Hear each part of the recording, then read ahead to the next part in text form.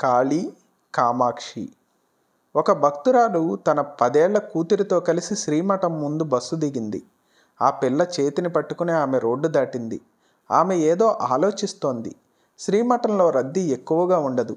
భక్తుల తాకిడి ఎక్కువగా లేకపోతే పరమాచార్య స్వామి వారి దర్శనం ప్రశాంతంగా చేసుకోవచ్చు. ఇలా ఎన్నో విషయాలు ఆలోచిస్తోంది. ఆవిడ శ్రీమఠం ప్రవేశ ద్వారం దగ్గరకు రాగానే తన పాప తప్పిపోయినట్లు తెలుసుకుంది. వెంటనే కంగారు పడింది. చుట్టూ వెతికింది కానీ ఎక్కడా తన కూతురు కనపడడం లేదు. వెంటనే లోపలికి వెళ్ళి పరమాచార్య స్వామివారితో చెప్పుకుంది. మహాస్వామివారు కొద్దిసేపు నిశ్శబ్దంగా కళ్ళు మూసుకుని ధ్యానంలో కూర్చున్నారు. వెంటనే కాళికాంబ దేవస్థానానికి వెళ్ళు. ఒక కాగితంపై నా కూతురు తప్పిపోయింది కనిపెట్టి నాకు తెచ్చివు తల్లి అని రాసి ఒక రూపాయిని దక్షిణగా ఆ చిట్టితో పాటు దేవస్థానంలోని హుండీలో వెయ్యి. మళ్ళా తిరిగి ఇక్కడికి రా అని చెప్పారు. ఆ భక్తురాలు ఆందోళనతో ఖాళీ ఖాళీ అని తన మనసులో మననం చేసుకుంటూ బయలుదేరింది. ఎంతటి ఆశ్చర్యం ఎంతటి అద్భుతం! ఆ అమ్మాయి కాళికాంబ దేవస్థానం ద్వారం ముందు ఏడుస్తూ నిలబడి ఉంది. కొంతమంది భక్తులు ఆ పాపని ఓదారుస్తూ వివరాలు కనుక్కోవడానికి ప్రయత్నిస్తున్నారు.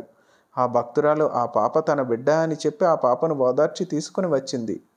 ఇంతటి ఆపద నుండి గట్టెంగించిన పరమాచార్య స్వామికి కృతజ్ఞత పొంగి పొర్లగా నేలపై పడి నమస్కారం చేసింది. నేను చెప్పినట్టుగా చిట్టీలో రాసి హుండీలో వేశావా అని స్వామివారు అడిగారు. అవును పెరియవా వేశాను. అక్కడ గర్భగుడిలో నాకు కనిపించింది పెరియవానే. ఇక్కడ నాకు కేవలం కాళికాంబ కనపడుతోంది అని సంతోషంతో బదులిచ్చింది. మరి పరమాచార్య స్వామివారు కాళియా కామాక్షియా? సర్వమాతృ స్వరూపములు పరమాచార్య స్వామివారే.